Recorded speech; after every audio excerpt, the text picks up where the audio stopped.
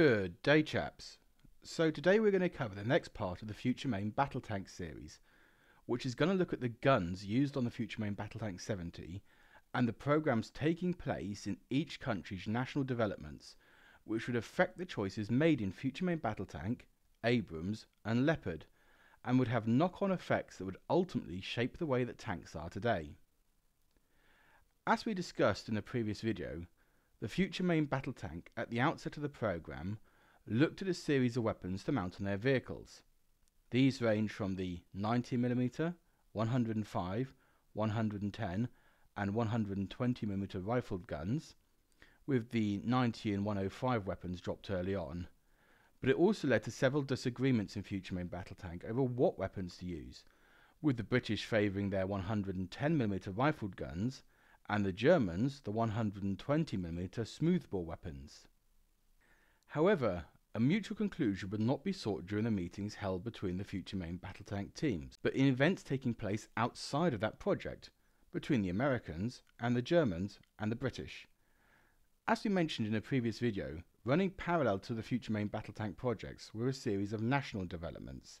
In the UK, this was working on combining Chobham and Chieftain, to form new vehicles like the FV4211 prototypes and the FV4222 concept, while in Germany the national development was on Leopard 2, and in the US they'd begun to focus on their XM1 tank after the previous disaster with the joint MBT-70 tank. During the development of the future main battle tank, the UK was also in talks with the Americans as to what weapons could be used on the XM1 in the future.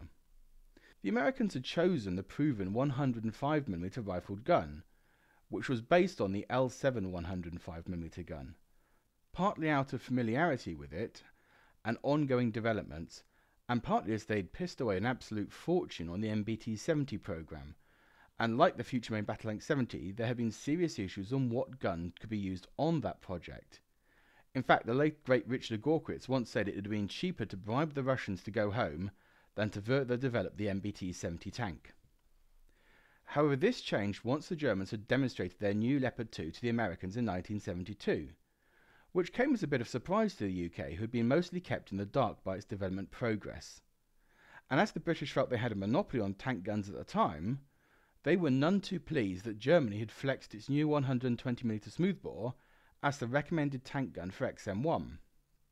The result of this, after several visits, would be the tripartite gun tests held in 1975. But before that, several meetings would take place to decide the details and who would be involved in this process. This evaluation was officially to be held as the competition between the Germans, British, and Americans to demonstrate their weapons for the next tank.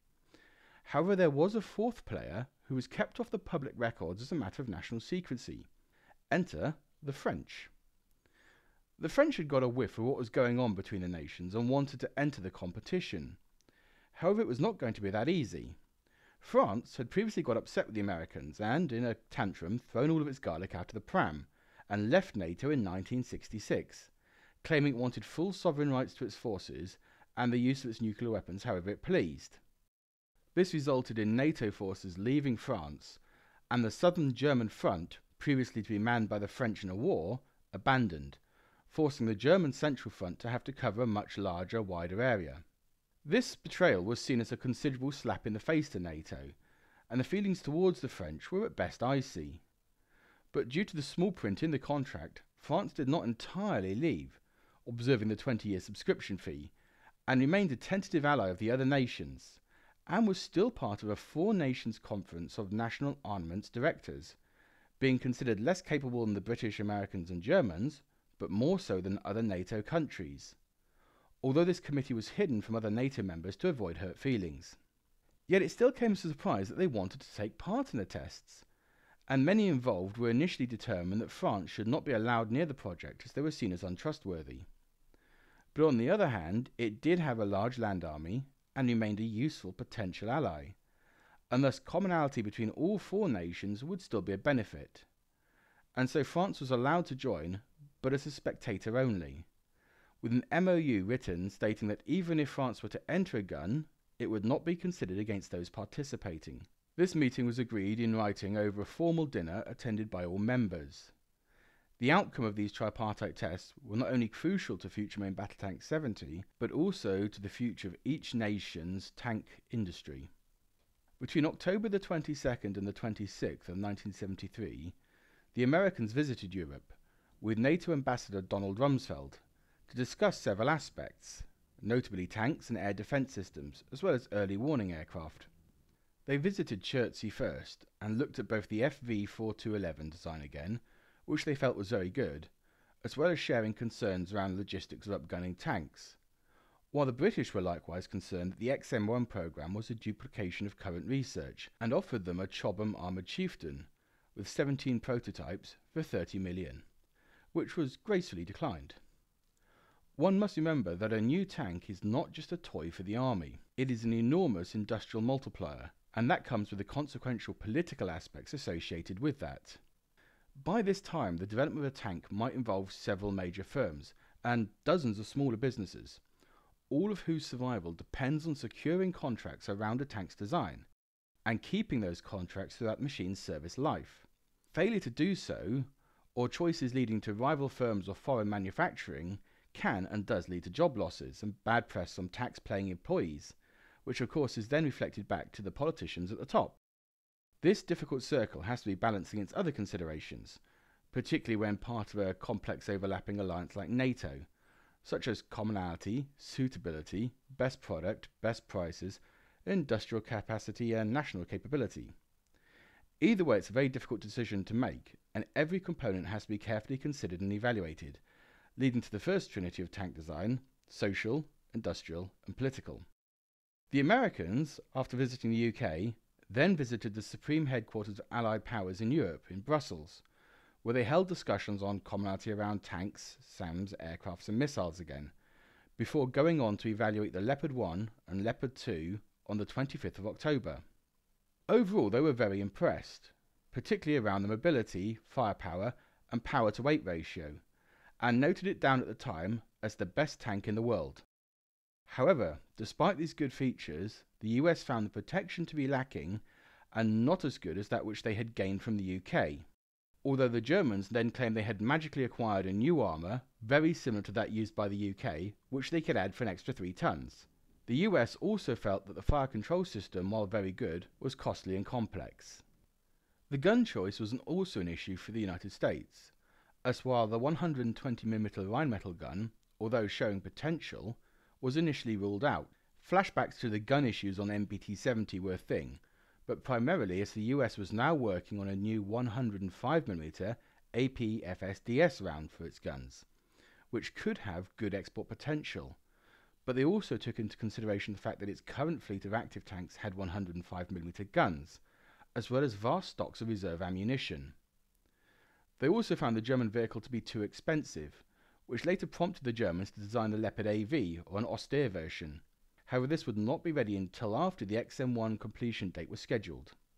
This foresight on the armour situation also became more readily apparent to both the US and Germany the following year, during the Yom Kippur War, which had demonstrated the effectiveness of weapons against conventional tank armour.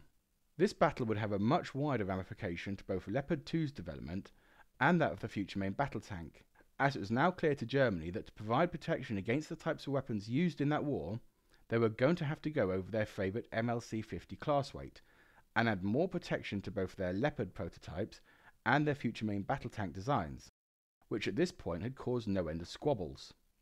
Still, while the US was fundamentally against any joint project when it came to XM1 and had made a decision not to buy Leopard 2, they remained keenly vested in the commonality with its NATO partners and had shown a continued effort at harmonising their future tank programme, signing an agreement to have standardisation between the UK, Germany, and the new XM1 tank programme in 1973, and a further MOU in 1974.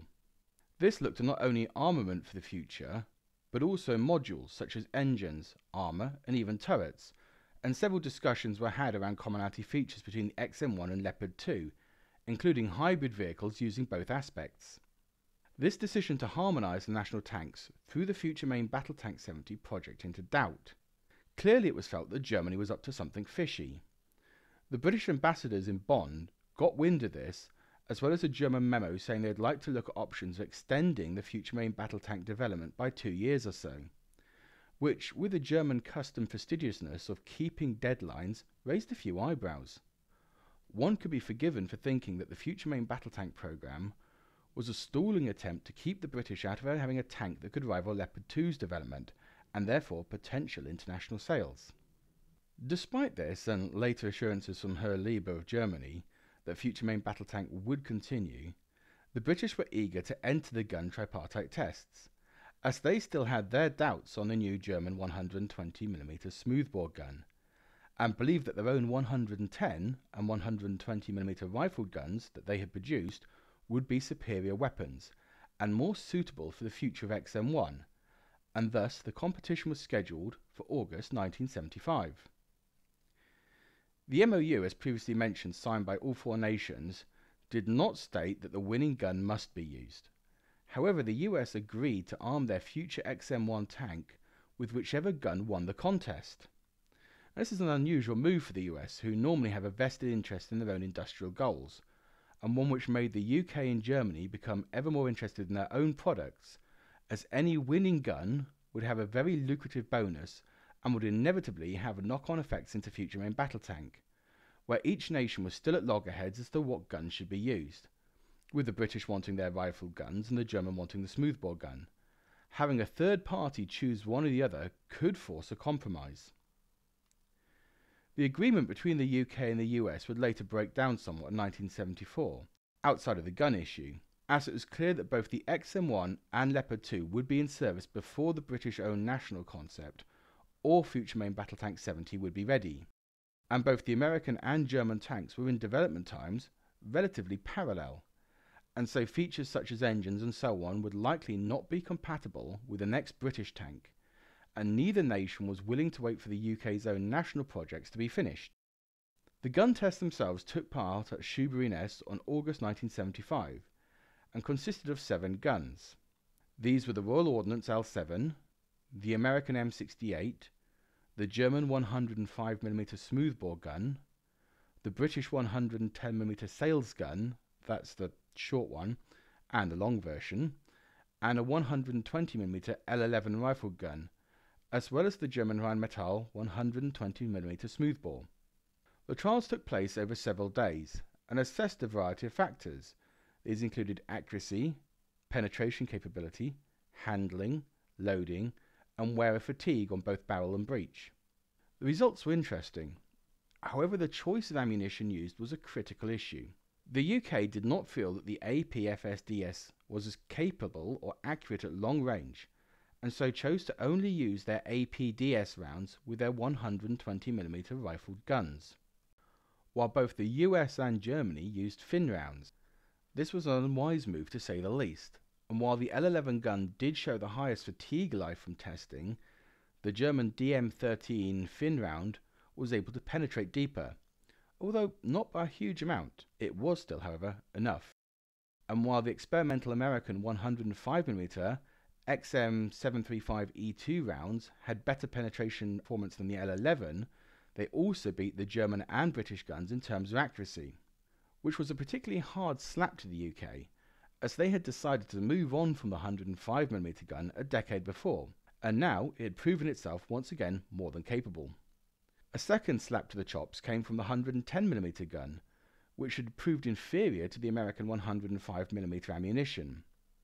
And yet the British had brought an experimental 110mm fin round to test, which then beat all the other rounds in terms of accuracy and penetration, but was forfeit from the competition as it was a future growth experimental round and not in development or likely to see production for any long time. The outcome of this test was that the US decided to keep the 105 caliber for another 10 years, although they noted that 120 would likely be needed in the future, while the other two agreed that the 120mm would be the best way to progress after some refinement.